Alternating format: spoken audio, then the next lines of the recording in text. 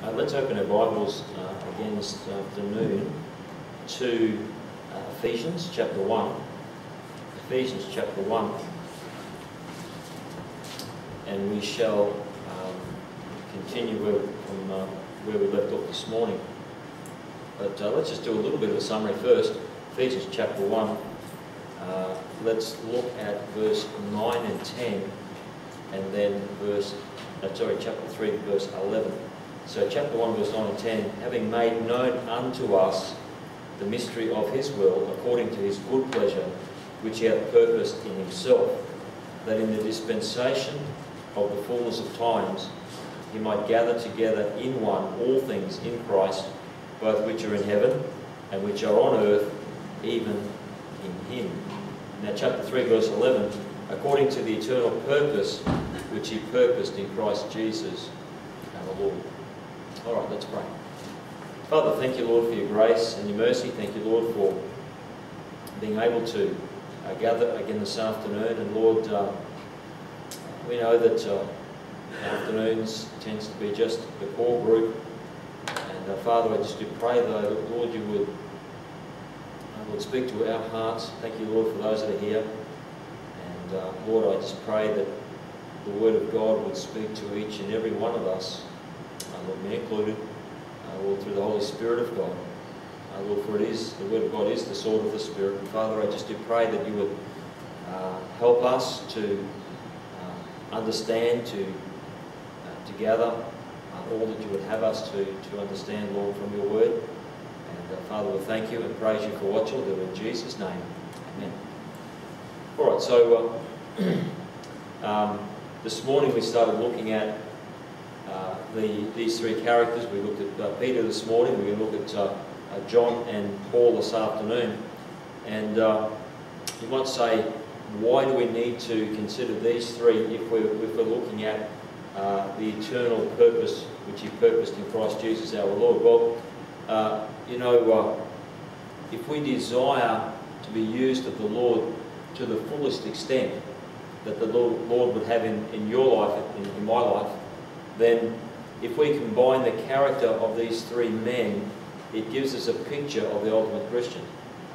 Uh, you know, each had particular qualities which stood out uh, in their lives, and uh, and the more we can, the more we can be shaped and molded uh, like these guys, uh, like Peter, John, and Paul, then uh, the more we're going to be able to be used of the Lord in respect of His eternal purpose.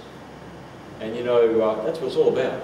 Yeah, you're thinking about Ephesians chapter 1, verse 10, there about that in the dispensation of the fullness of times He might gather together in one all things in Christ. I mean, when that time comes in the future, uh, it's not going to be about how successful we, are, we, we were physically in life, not at all.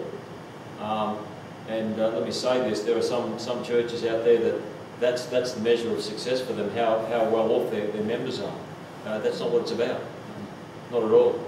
It's, it's about how successful we are as a church and individually in the eternal purpose of God. It should be our purpose in life. And, uh, and yes, of course, we've got to, we've got to work jobs, we've got to have, you know, raise families, etc., etc., etc. But at the same time, uh, if we are really getting a hold of our walk with the Lord, it's all ultimately about God's eternal purpose. Uh, because one day we're, we're all going to breathe our last, we're going to step into God's presence, and, uh, and, and, and that'll be it. Our chance to serve God will be finished. And it's very easy in this life that we live, especially at the time that we live in at the moment, um, it's very easy to be distracted from that. Uh, you know, the, uh, the physical conditions of, the world at this time, uh, and, you know, every time you get talking to somebody, it's, it's about what's happening in the world. Whether it be the virus, whether it be uh, what's happening in America, whether it be the Chinese, whether it be the finances of the world, uh, whatever. You know, there's so many issues there. And uh, it's so easy to take our, our, eyes off the fact that all of those things that, that, that people are talking about physically are actually uh, you know, prophecy from the Word of God. Uh, you know, it's all been told, foretold that that's you know, the, the world will head this way. And so for us, that have the opportunity uh, in this country to serve God, um, let's not be self-serving, but let's be serving God in respect of His eternal purpose. I might say, well, I don't know how God wants me to serve Him according to His eternal purpose. Well, God knows, and that's why you've got to. That's why what we're looking at today is important, because if we are if we are letting God uh, mould us and shape us to to change to change our direction, like he did, like Peter was willing to be uh, to have done to him, uh, even though he had a bit of a hiccup there on the night the Lord was betrayed. Nonetheless, Peter was willing to be corrected, moulded, and shaped into into what God wanted him to be, and. Uh, and then, you know, as we as we'll look at uh, with John and Paul, you know, we'll, we'll, have great faith and zeal in our lives. And and uh, John, the ultimate picture of a Christian with his with his meekness and long suffering, gentleness, etc. Uh, you know, that that's what's important. And so, uh, let's have a look at uh, at these things this afternoon. And and though we may never reach the heights of, of, of Peter and, and John and and Paul, uh, nonetheless, uh, it would sure be a, a, a, transformed Christian with a renewed mind that we would become if we allow the Lord to work in our lives uh, as, we, as we've been looking at today. So the second person that we're looking at is Paul. And uh, Paul's character displayed the fervour and faith that we need to have in our lives if we are to serve the Lord to the fullest extent. And let's just remember, what was Peter? Peter was someone that was willing to be corrected, moulded and shaped uh, by the Lord. Uh, and, uh, and that brought confidence in his walk with Christ. Instead of being self-assured of him, you know, in other words, being sure of himself, uh, he, was, he then became sure in Christ of his walk with the Lord. And you just, you've only got to read the post-ascension of Christ, the life of Peter after the Lord ascended, to see that. Uh, it was, there was great transformation there. And so Paul, Paul displayed the fervour and faith that we need to have in our lives if we are to serve the Lord to the fullest extent. Now let's go to Acts chapter 20. Acts chapter 20. Now, let me say this. This is Paul on his way to Jerusalem. Yes, we've looked at this a number of times. Uh, Paul was going there when the Lord said not to go, etc., uh, etc. Et but nonetheless, we can look at Paul here in verses 22 to 24 and to see the heart of the man. We can see the heart of Paul. In Acts 20, verses 22 to 24, uh, Paul wrote or said, And now behold, I go bound in the Spirit unto Jerusalem, not knowing the things that shall befall me there, save that the Holy Ghost witnesseth in every city, saying that bonds and afflictions abide me. But none of these things move me. Neither count I my life dear unto myself, so that I might finish my course with joy, and the ministry, which I have received of the Lord Jesus to testify the gospel uh, of the grace of God. What, what's the, to testify the gospel of the grace of God? What's that? God's eternal purpose. And, uh, and you can see that you can see the zeal and you can see the faith there in that. Uh, Paul was not concerned about what was going to happen. He knew that bonds and afflictions would abide him there. The Holy Spirit of God was telling him that. It didn't move him. He literally says that. None of these things move me. Why? Because Paul had great faith in his Lord, in his Saviour. And uh, not that I'm encouraging anyone here, I'm not encouraging anyone here to go and do something silly to try and, to try and uh, be a witness for the Lord. Not at all, not at all. But what I'm saying is we can see here Paul's great zeal and faith in, this, in these verses. And, uh, and nothing was going to nothing was going to change that. Now, obviously, in that day and age, it was a different, different time. Uh, life was different in those times, different culture, different ways, and, uh, and life wasn't, uh, life was a whole lot cheaper than what it is today in this country, at least. And, uh, and so, so the thing is, Paul is talking in that context. It, you know, he, the, the, the, what he would suffer was, was not unusual in, in, uh, in, in life for people back in those days. Mind you, he's, he suffered a lot in comparison to others, but but uh, he had great faith and great zeal. And, uh, and so, uh, if, if we have the willingness that Peter had to be corrected, and we see the Lord's working in that, not chastisement, but working. Remember what I said this morning about the Comforter, the Holy Spirit?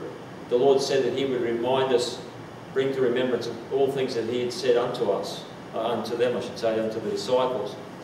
And, uh, and so Peter remind, remembered that just as he denied the Lord the third time and he heard the, heard the cock crow, he, you know, he remembered what the Lord had said that night.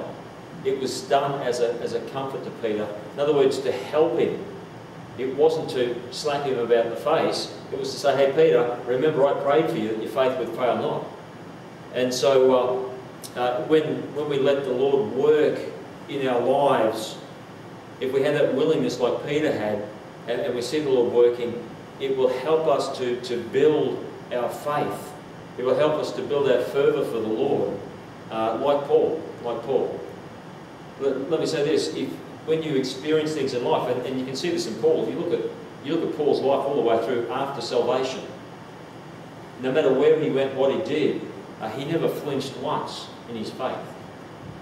And uh, he, was, he was bold in his faith, he was very fervent in his faith, uh, in serving the Lord. And so you stop and think, the first missionary journey that Paul went on, he went with Barnabas, and Barnabas took him first of all to Cyprus. Now Cyprus was Barnabas' home, home island. That was where Barnabas was from. And so it was kind of like the Lord let Barnabas take him there and then, then up to the mainland into what, what is today Turkey. And, uh, and, and it was kind of like the Lord was letting him have a training run, so to speak, in his first missionary journey. But nonetheless, when they got up to the mainland and they went to Lystra, what happened to Paul? Paul got stoned. You know, welcome to the ministry, Paul. Uh, you know, here, cop this, rock hockey. Your head's the, your head is the target. And so, and so poor old Paul, you know, he uh, he didn't he didn't flinch with that. What happened the next? He, he, he got thrown. His body got thrown out of outside the city as dead. Uh, there in Lystra. And then the Lord basically, you know, wasn't finished with him. He's only just begun. He's saying, "Come on, Paul, get up." And so Paul gets up. He wasn't he wasn't dead. Uh, well, the Lord brought him back to life. And, uh, and it says that Paul went back into the city. He went back into the city. That's great faith. That's great zeal. That's great fervour. He wasn't doing anything to them, but they had it in for him. It takes great faith and great fervour to do that. So what? So what? The reason why I brought that up is this: as Paul went through life, after his missionary life, after that incident, for example, mean, how much more serious can you get? You've already been stoned to death. And it was only the grace of God that he was still alive before that, that, that he came back to life, basically. And, uh, and so, uh, from that time on, Paul had a building block there of his faith, in his faith. You know, the Lord lets him experience that at the beginning. And I've said this to you before. When you experience something in your life, a problem, a trial, whatever it be, and God intervenes and helps you with that, you make that a building block in your, in your, in your faith. The Lord Jesus Christ, 1 Corinthians chapter 3, the Lord Jesus Christ is our foundation. Uh, it's talking there in 1 Corinthians 3 verses 11 to 15 about, about uh, the judgment seat of Christ for rewards. But the Lord is our foundation in our lives. And when the Lord answers something, when, you, when the Lord gets you through a trial, when He gets you through a difficult time, when He answers whatever it may be, and you know it's the Lord, you, you make that a building block in your life. Don't forget it. You go, yep, I've, I've got that there, I'm not going to forget that. And, uh, and when the next time something else comes along, it might be something different, something bigger, something more major, but nonetheless, you look back and you go, well, God helped me with that and especially if it was a smaller thing. God help me with the small things, well, He's certainly going to help me with this. It builds your faith. It builds your zeal for the Lord. It builds your confidence in the Lord. And that's what we see with Paul. I mean, like I said, you know, he got stoned to death. Couldn't get any worse than that. And, uh, and, and, and so we see Paul just going on. Very faithful, very fervent in his walk with the Lord. Now, uh, I want to think back on this epistle to, uh, to the church in, in Ephesus. We see here Paul write with great enthusiasm of God's eternal purpose in the verses that we've looked at this morning and, and this afternoon. Now this was around 60 to 62 AD. 60 to 62 AD. So by this time Paul had undergone three missionary journeys to the Gentile nations uh, to whom he was called. uh, spanning over two decades, uh, in, in, excess of two decades. He had been persecuted in numerous ways, uh, suffered much hardship, uh, was at the time of writing a prisoner in Rome when he wrote the, the epistle to the, to the church at Ephesus. But by the hand of God, the blessing of God was clearly seen even as a prisoner. Uh, he had his own hired house. He was able to receive anyone uh, that, would, that would come in unto him, whether it be the Jews, whether it be Gentiles, whether it be other disciples coming in to see him and, and going out.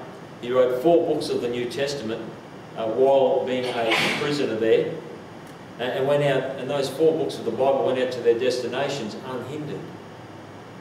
And so, uh, you know, that is the hallmark of someone who had implicit faith in the Lord all the way through his life.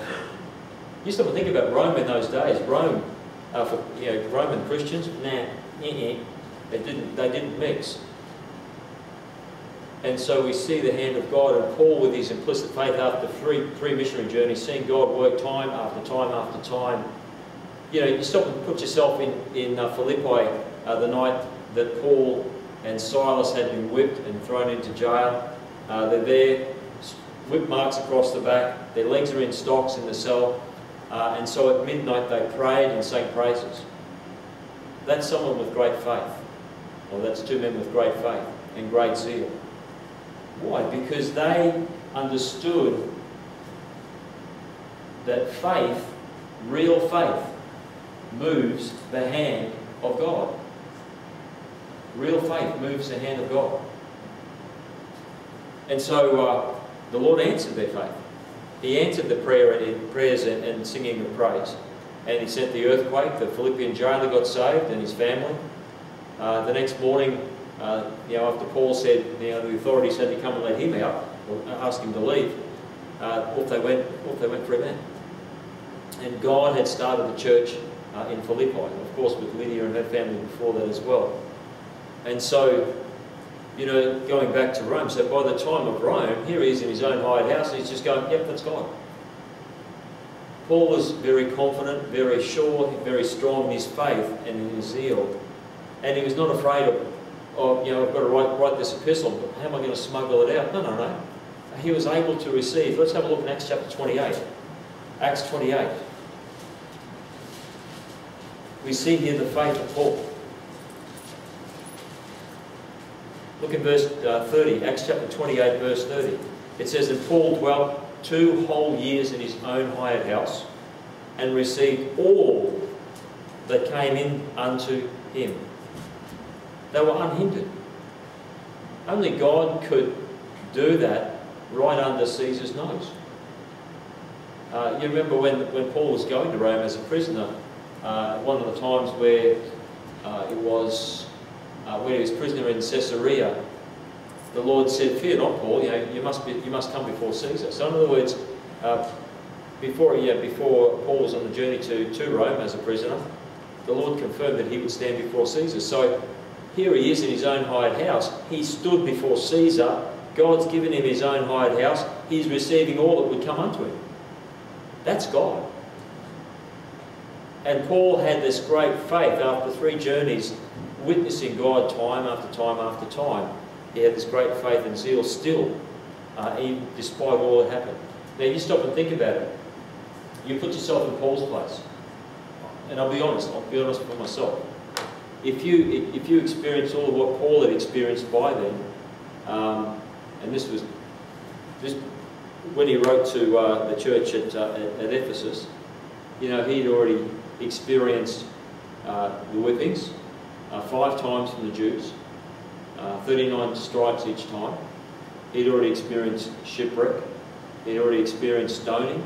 He'd already experienced uh, riots he'd been uh, persecuted by the Jews, etc., etc. You can look at the list in Corinthians, which is written uh, 50, I think about 57, 58 AD, I think from memory. And so, so, so the thing is, Paul, by the time he wrote to the church at Ephesus, had even experienced more than that list that he put in the, in the epistle to the church at, at, uh, at Corinth.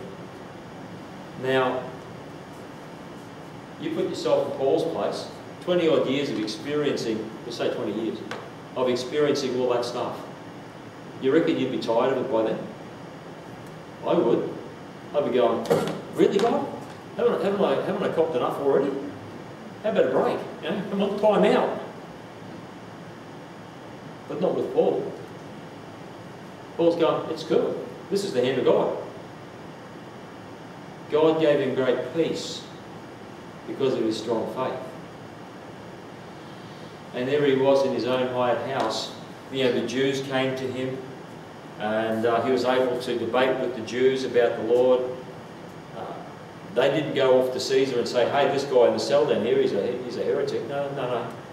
No. And, uh, and Paul then went on, and uh, we know that, that Paul uh, was released after his two, um, two years in his own hired house, and, uh, and he went on for another, another, another number of years, perhaps another five or six years. Now, let's have a think about that. His fervour and faith never shrunk through the years, even later that decade, uh, in his second imprisonment, when he knew that he would be martyred.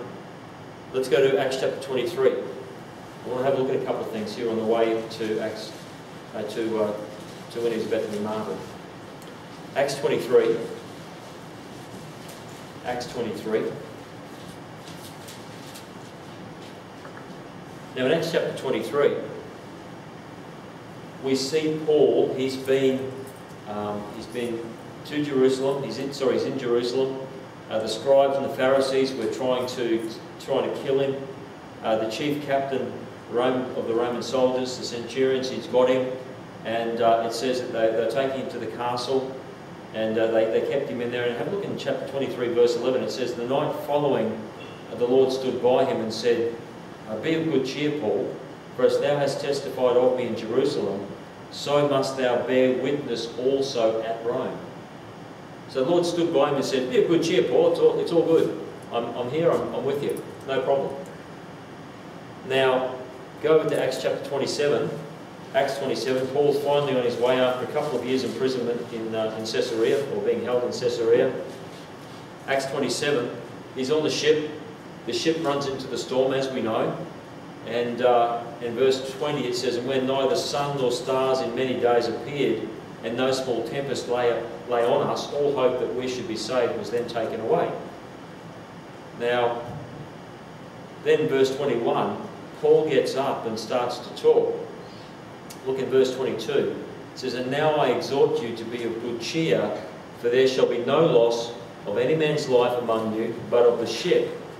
For there stood by me this night the angel of God, whose I am, and whom I serve, saying, Fear not, Paul, thou must be brought before Caesar, and lo, God hath given thee all them that sail with thee. Wherefore, sirs, be of good cheer, for I believe God, that it shall be even as it was told me. And so, uh, so we see him these two times. Once, in, once there in, in uh, Jerusalem when, when they were trying to kill him, and the Roman centurions grabbed him, the Lord stood by him and said, don't be afraid, or be of good cheer. Uh, and then the second time here on the ship, when they're, when they're you know, in that storm for a you know, good couple of weeks. Now, then, as we've already looked at in Acts 28, he's in his own hired house there in Rome, and the Jews knew nothing about him. They hadn't received any report from Jerusalem. So there was no case. Now, we see there the providential hand of God, which of course was a great encouragement to Paul. It was a confirmation of his faith. Now go over to uh, 2 Timothy, 2 Timothy in your Bibles, 2 Timothy. Now 2 Timothy is one of the pastoral epistles. And here Paul is writing to Timothy, um, his, uh, as he calls him, his own son in the faith. 2 Timothy chapter 4, have a look in verses 6 to 8. 2 Timothy 4 verses 6 to 8, he said, For I am now ready to be offered, and the time of my departure is at hand. I have fought a good fight, I have finished my course, I have kept the faith. Henceforth there is laid up for me a crown of righteousness, which uh, the Lord, the righteous judge, shall give me at that day, and not to me only, but unto all them also that love is appearing. And uh, love that verse. And you know, uh, the fervour and the faith of Paul was there until the end. You know, that's uh, he wrote the pastoral epistles about 67 AD. The prison epistles were 61, 62 AD, around there, between 60 and 62 AD. And so uh, Paul had been released. He went off and kept serving the Lord uh, for another five or so years. He's arrested again, and this time he knows. It, doesn't say that the Lord stood by him and said, Be of good cheer, Paul, or anything else. But here we see Paul going, uh, I'm now ready to be offered. I'm, I'm fine. I'm ready to be offered. Look at what he says. I have fought a good fight, finished my course, and what's the third one? I have kept the faith. Paul was a man of great faith and fervour, right to the end. And it didn't scare him when he came to the end of his life. He knew it was the end. You know, uh, that ought to be us too. And, and look, we're never going to live a life like Paul. Thank the Lord for that. Never going to live a life like Paul, but at the same time, God wants us to have great faith and, and, and fervour for Him. What's the fruit of the Spirit? What's the fruit of the Spirit that God sees in us? Faith, meekness, and temperance. Faith, meekness, and temperance. And Paul is certainly a great example of that. Now, the third character, of course, is John. Now, go over to John chapter 21. John 21.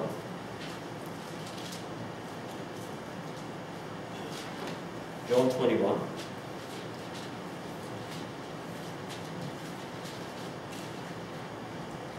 Look at verses 21 to 24. Now, this is when Peter, uh, whom we were thinking about this morning, this is where the Lord got beside Peter. He got Peter to confess his love for him three times because he denied him three times.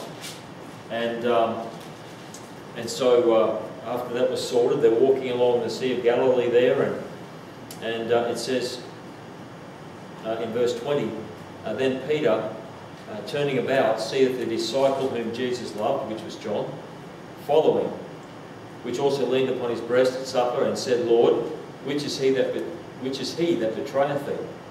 Peter, seeing, sorry, seeing him, saith to Jesus, Lord, and what shall this man do? Jesus saith unto him, If I will that he tarry till I come, what is that to thee? Follow thou me. Then went this saying abroad among the brethren, that that disciple should not die. Yet Jesus said not unto him, He shall not die, but if I will that he tarry till I come, what is that to thee? Verse 24, This is the disciple which testifieth of these things, and wrote these things. And we know that his testimony is true. And so, um, so here we, we see John uh, writing of himself. Of course, the Lord inspired him to write the Gospel of John. And, uh, and so what, is, what was John? John was the epitome of the model born-again believer in respect of his character. Uh, there is no, there's no real correction in the Word of God. He didn't have a time like Simon Peter. Um, the only time that you can find uh, where John uh, was rebuked by the Lord was when uh, he and his brother uh, at the village of the Samaritans that wouldn't receive the Lord into the village, uh, he and his brother said, well, Lord, would you have us to call down fire onto the village? And the Lord said, you don't know what spirit you're of, you know. And he, he corrected them and he, he, rebuked them. But that was it. That was it.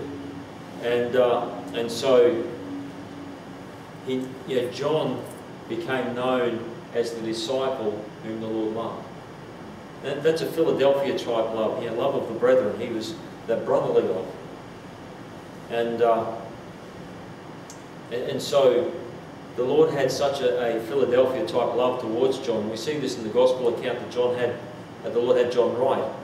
Uh, the Lord had him record the words of John 13 verse 34, which says, A new commandment I give unto you, that ye love one another uh, as I have loved you, that you love one, also love one another.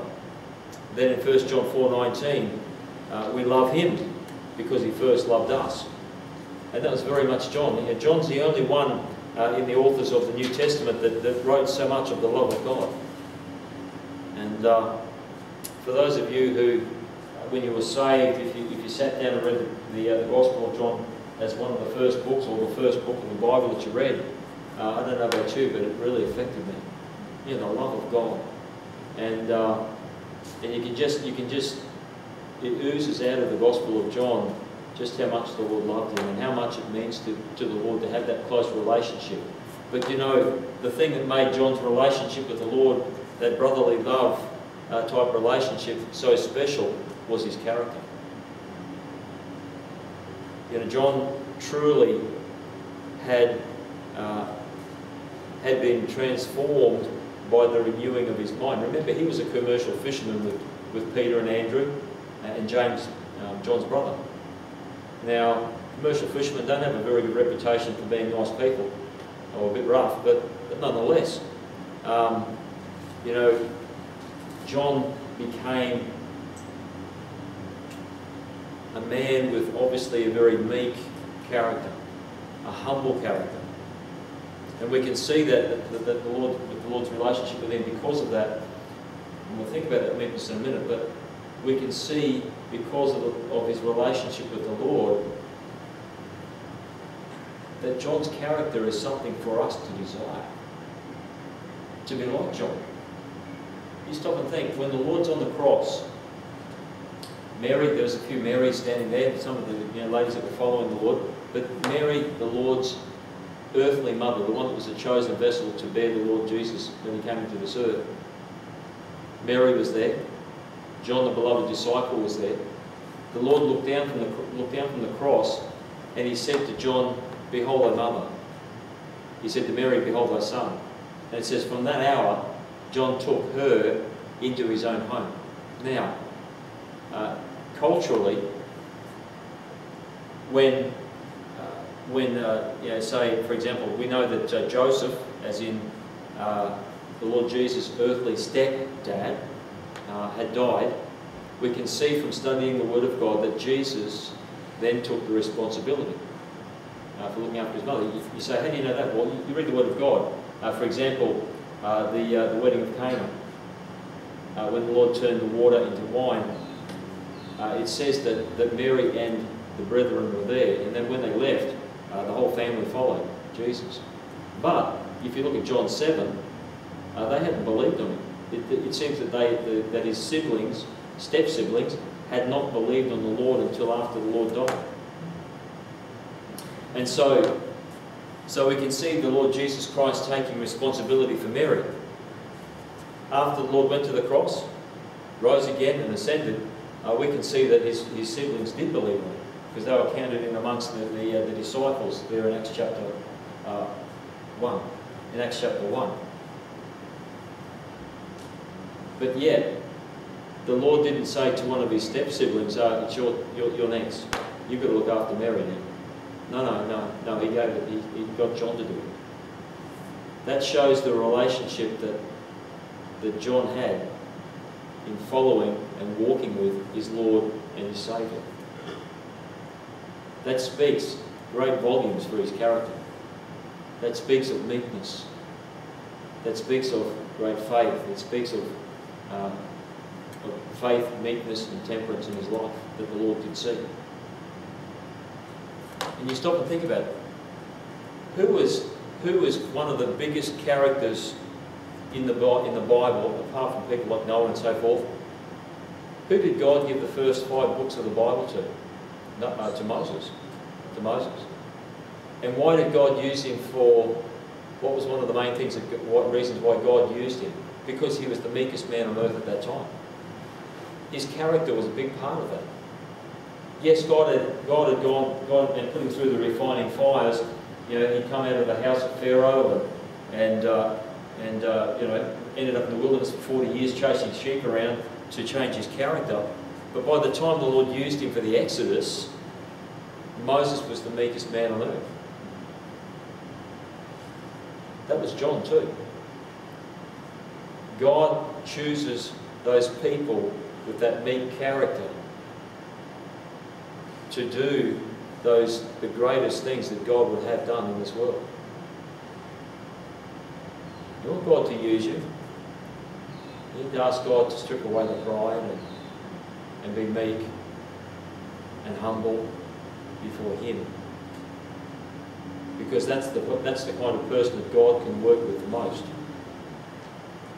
Um, I just want to think of this. This is just a little interesting note to make a comparison between Moses and and and, uh, and John. I'm not, I'm not, trying to put any any kind of uh, emphasis on this or, or trying to make anything out of it, but just just a couple of observations.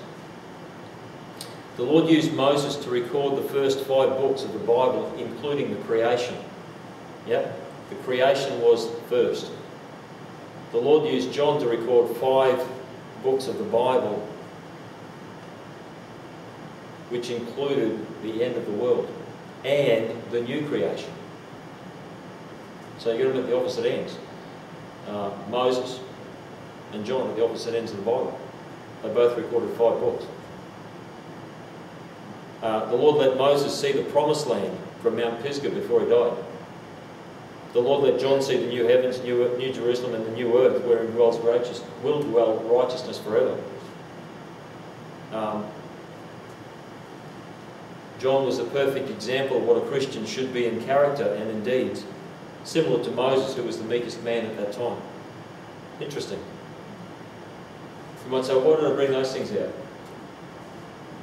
What you are as a born again believer, your character, makes a huge difference to how much God can use you.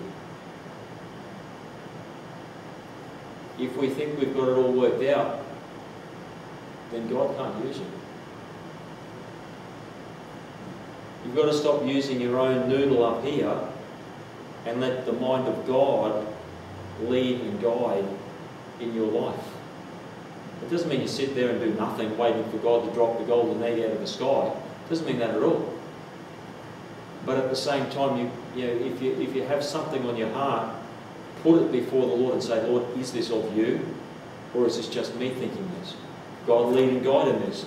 Open or close the door. Lord, uh, speak to me through your scriptures. Give me peace of heart or don't let me be settled about it. Or if it's just something that's not, not right about it, just let it niggle me to where I can see that there's something not right. Or I just don't have that peace of heart.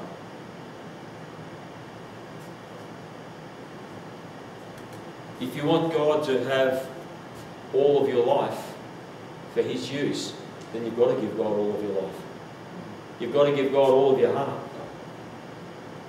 Now, um, I mentioned this this morning, and we're going to go here again uh, in, to close off this evening.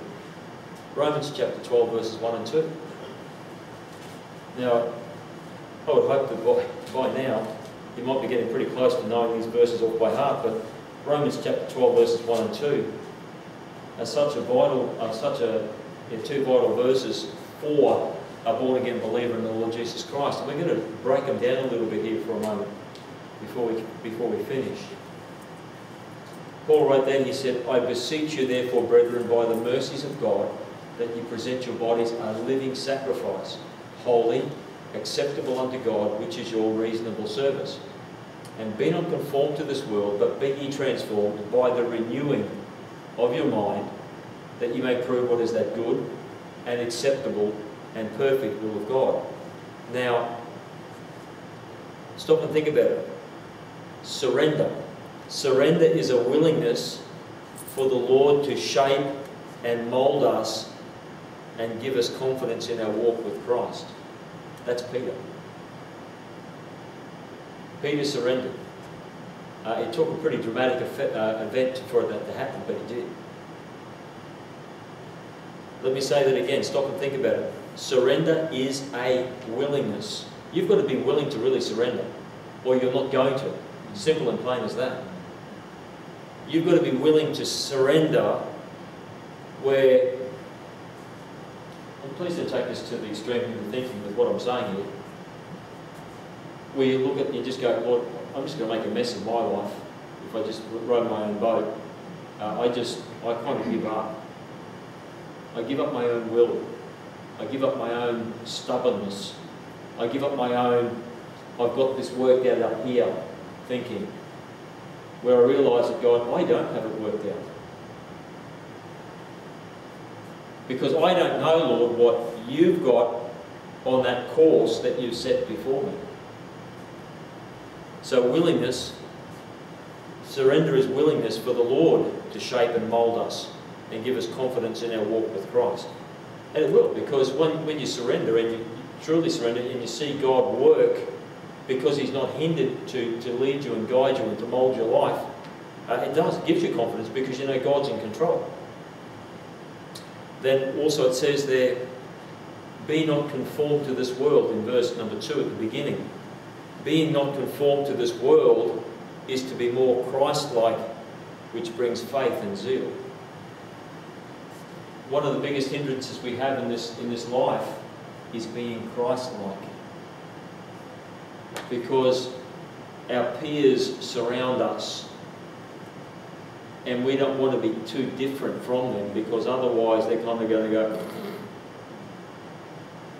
But the more you go, the more you think about one day I'm going to stand before God and I'm not going to care less what, the, what Joe Blow thought about me anymore.